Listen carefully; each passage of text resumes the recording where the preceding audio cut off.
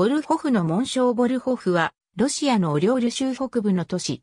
岡川の支流のぐり川沿いにあり、州都オリョールからは北へ 56km、モスクワからは南西へ 270km。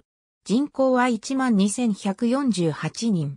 1969年には12,800人、1897年には2703人であった。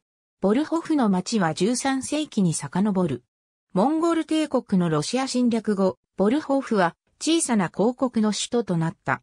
16世紀、ボルホフはモスクワ大公国の一部となっており、南のタタール人からモスクワを守る要塞の一つであった。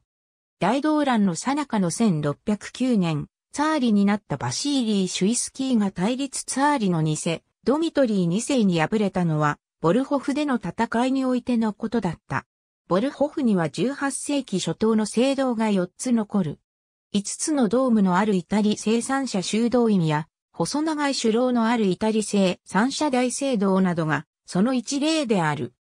町で最大の聖堂は1841年から1851年にかけて建設された旧世主権境外聖堂はコンスタンチントーンの弟子の一人により設計された。